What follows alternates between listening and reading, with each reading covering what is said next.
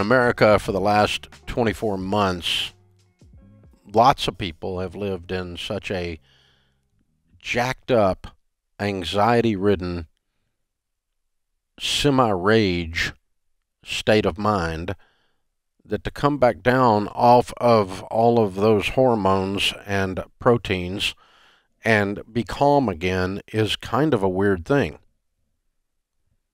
Might be a good New Year's resolution, by the way. Turn off the television, the news channels anyway. Uh, unplug or largely unplug from social media and back away from the manure. If you're pouring that much manure into your brain, your brain is going to turn into manure. I knew I had a problem when I actually violated one of my lifelong rules. One of my rules is don't ever read the comments after any article. If you want to know why some species eat their young, you can tell by reading the comments after the articles. These are some of the dumbest human beings on the planet, and some of the meanest, too. Any article on anything. I, and I knew it was time for me to just back away from the screen because you get in jacked up mode. Because here's the thing Dr. Delony talks about this all the time facts are your friends. And when your brain is jacked up like that on fear and rage, you've been doing all the, the COVID fear porn over and over death, you're going to die, you're going to die, you're going to die, you're going to die. And your brain gets jacked up to the point that your critical thinking skills just disappear. None of us do good critical long term thinking when we were really angry or really afraid. Your brain doesn't work that way.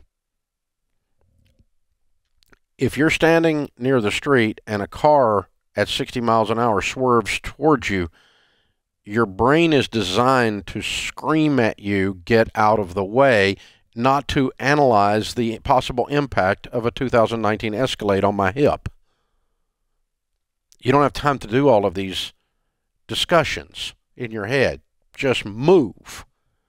Your brain is primitive and is designed to throw you out of the way of danger, not to have a critical thinking discussion about it. Or what I should have said in that argument. Get out of the way. And so your brain shuts down its ability to do critical thinking when you're freaked out. And when you're in trauma like that, Delony teaches us, and it's been a really good lesson. I've enjoyed learning it myself. That we, when we're in trauma like that, we have to force ourselves into higher thinking. We have to say, facts are my friends. What are the facts. What's really happening? What do you see with your eyes? Do you see people falling down dead all around you? What are you really seeing with your eyes? What is the actual facts? Not what someone says is science, not what someone says is their political stance on something. What are the actual facts?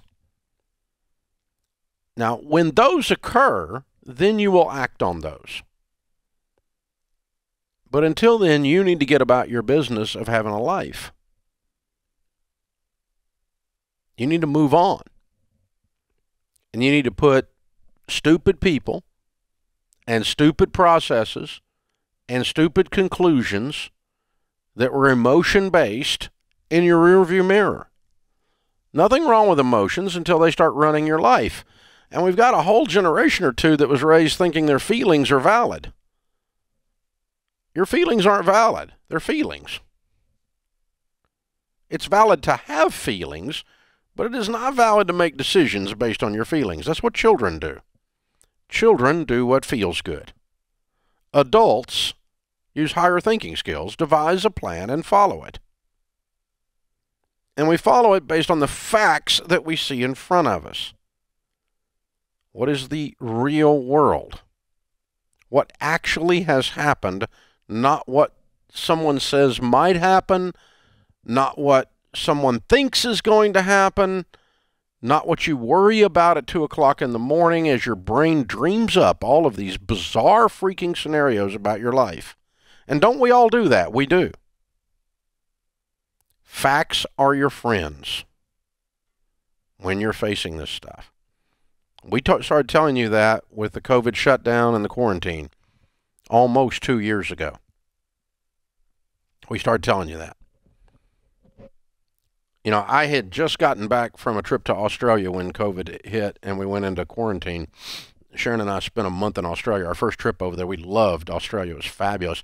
And if you recall, the beginning of 2020, there were massive fires in Australia if you were to watch the news in America, you would have thought the entire continent of Australia was on fire.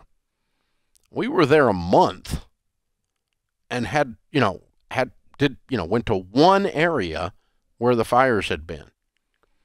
And the uh, the vegetation was already starting to grow back in those areas. Beautiful green valley, but the fires were real and they were devastating. And I'm not saying they they weren't horrible, they were, but they, they did not cover the entire continent of Australia. And we actually had several people, of course, this is pre COVID, right? The early, early, early days of COVID. There were a few people in the uh, airports with masks in those days, but very few. And we had lots of people in Australia tell us, say, hey, would you please tell Americans that the entire continent did not burn down? Because apparently Americans, based on what they saw on Fox and CNN, decided that Australia was a black charred mess not to go. And tourism was way down because of the perception of the fires, not the reality. The reality was a very small percentage of the continent was actually affected. Now, the percentage that was affected was a big problem, and it was devastating. I'm not, I'm not saying that wasn't so. But the difference is what are the facts versus what you saw on the news?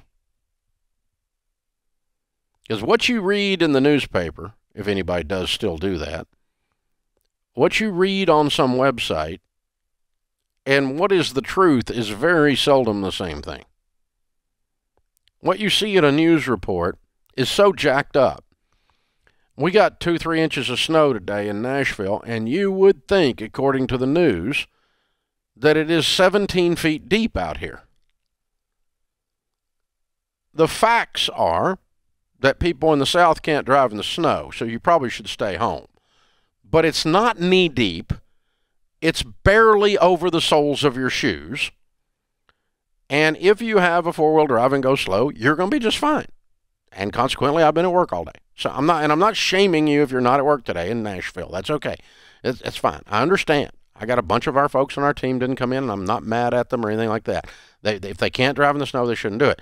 But if you were to watch the news, is my point. According to the, the these newscast, these weather forecasters sound like a beagle chasing a rabbit. Hey, hey, hey, hey, hey. You would think. I have read articles written about Dave Ramsey that I don't even understand. Where, how did you? Where did you get that? It has nothing to do with anything that is me. Nothing to do. That didn't happen. It just didn't occur. Somebody just made it up. And, you know, it, it's amazing to me. Okay. So the point is, folks, don't make your financial plan like our last caller in that last segment based on your fears. Fears aren't facts. Analyze the fearful situation and figure out how much of it is actually factual. Use your adult higher thinking skills. Is the, is the snow really 17 feet deep? Is it really? This is The Ramsey Show.